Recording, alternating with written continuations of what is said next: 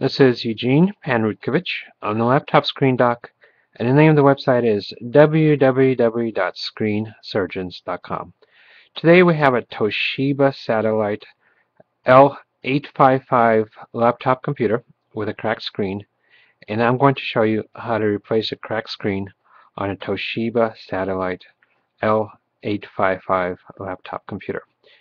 Before we do anything with this or any other laptop computer, we want to make it safe to work on, and that means removing all sources of power, and that means removing the battery. So in order to remove the battery, we flip the laptop over, the battery is facing us, and what we do, there's two levers. One unlocks the battery on the right, and the one the other one releases the battery. We slide the one on the left outward like we did the one on the right and lift up the battery like so and the battery's out and now the laptop is safe to work on.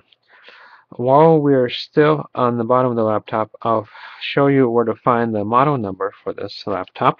There's a label on the bottom that says Toshiba and right below it says Satellite L855-S5240.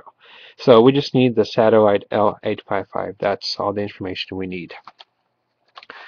Okay, usually for new lap, newer laptops, there's a label on the palm rest that I'll show you the model number, but this one's missing that label. Okay, in order to get to the screen assembly, we have to remove the screen bezel. That's the plastic frame around the screen.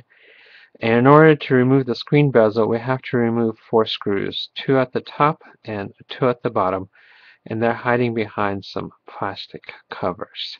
So before we get started on this step, I will show you the tools that we're going to use for this procedure.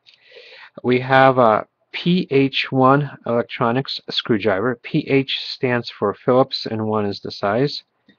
We also have a PH00 electronics screwdriver for smaller screws a 2 millimeter flathead screwdriver and that's for uh, prying things open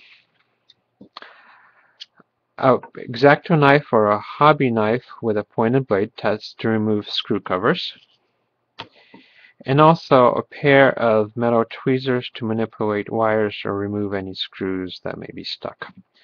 So let's get started. The first step is to remove the plastic screw covers so we can get to the screws. There's two at the top and you remove them with a hobby knife. And what I to do is put them right next to the screw opening. And same with this one. Now there's also two screw covers on the bottom here and here. Uh, they're missing for this laptop, but they're usually there, so just pretend that they're there. Okay, next step is to remove the four screws that are securing the screen bezel to the screen assembly. And we do that one by one. And what I like to do for each set of screws is keep them in a separate pile in the order in which they're removed so when I'm putting everything together I know which screws go where. So this is one pile right here and we put it together. Okay, next step, probably the most difficult step in the whole procedure is to snap off the screen bezel, remove the screen bezel. And what I like to do for this step is put my fingertips on the screen side and gently lift up and out and listen for snapping sounds. If you hear snapping sounds, that's a good sign. That means the bezel is coming off. And you work your way around the screen. If you get stuck at a certain place, just keep going and come back to that place later on.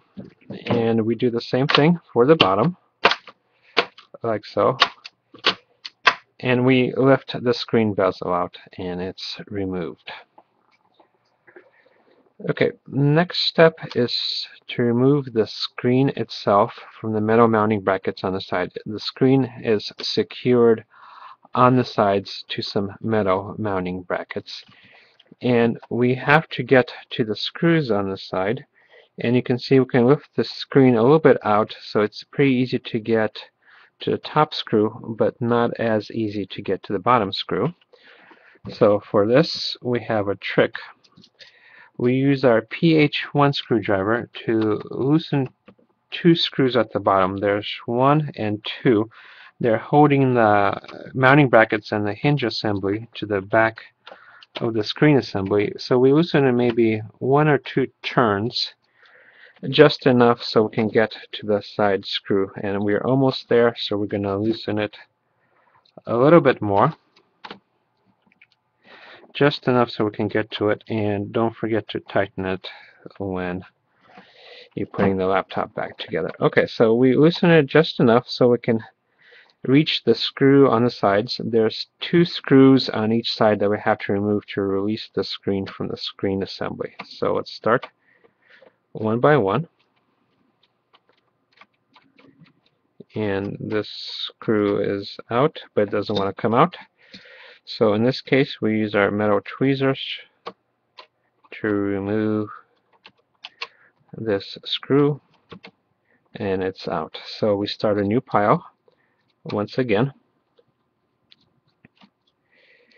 Two and when you remove the last screw, make sure the screen assembly is tilted back a little bit because the screen is going to fall back like this.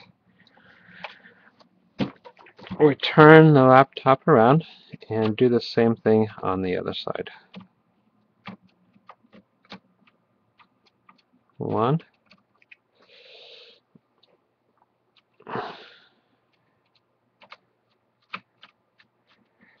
Two. And 3. And now the screen is loose from the screen assembly. Okay, next thing we want to do is gently tilt the screen forward, make sure nothing is holding it back, and put it down like this.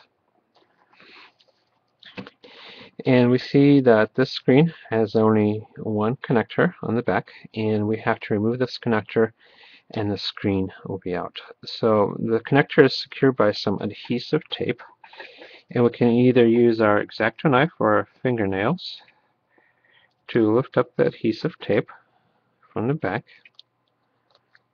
like so. And usually the cable that the connector is attached to is attached to the back of the screen with some adhesive. So we lift that up also and once we do that, we gently pull the connector out like so, and it's out. Uh, before we go any further, I will show you how to reconnect this connector because sometimes it's a source of trouble. So when you slide the connector back in, you'll feel but not hear two clicks when it's fully engaged. And let's take a close-up look what it's supposed to look like.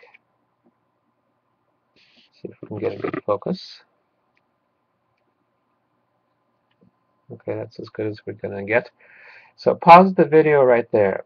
The can the there should not be a gap in the seam between the two sides of the connector connection.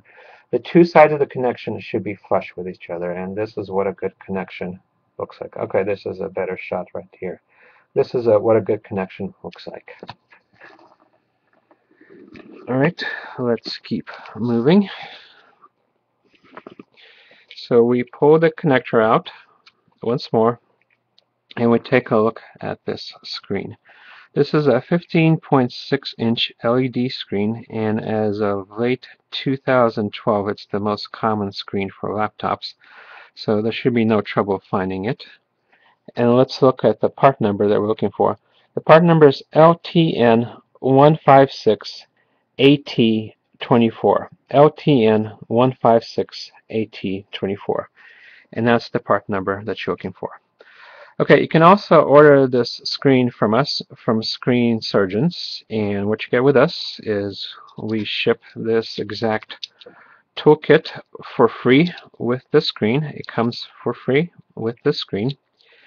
You have a two-year warranty on the screen itself.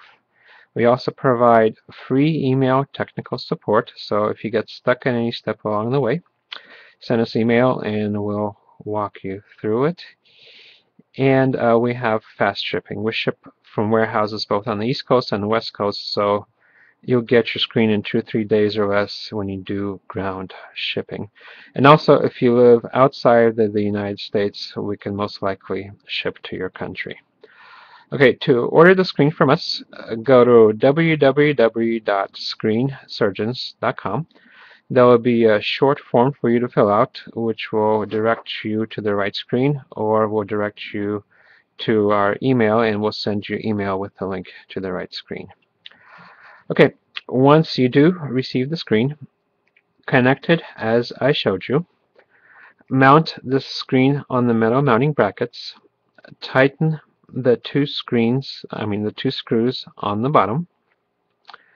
Then snap the screen bezel back on. Put the two screws, screws in on top and two on the bottom and put the screw covers in and you should be done. Okay, that's it. Once again, my name is Eugene Panrutkovich. I'm the laptop screen doc and the name of the website is www.screensurgeons.com. Thank you very much and good luck.